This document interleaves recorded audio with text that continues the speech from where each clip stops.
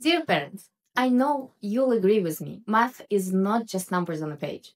Math is a language full of conversations, discoveries, and joy of thinking.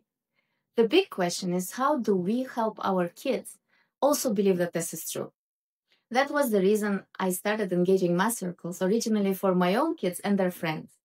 I have a degree in applied mathematics, not in education or psychology. So when I began teaching, I had to learn a lot myself. My own biggest lesson was that teaching math is not only about teaching skills.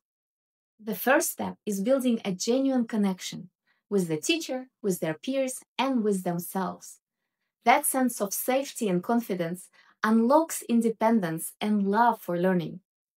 Once that happens, math stops being something to fear or be bored with and becomes something to enjoy. And when kids enjoy math, they master skills faster, deeper, and in a way that lasts. That's what we do at EMC. And that's why I'd like to invite you to our info night for parents on Thursday, September 11th. Come, meet me, our core team, get a taste of our curriculum, ask your questions, and see if our approach aligns with your needs and beliefs. We hope to see you there and to welcome your kids not long after. Registration details are in the first comment. See you soon.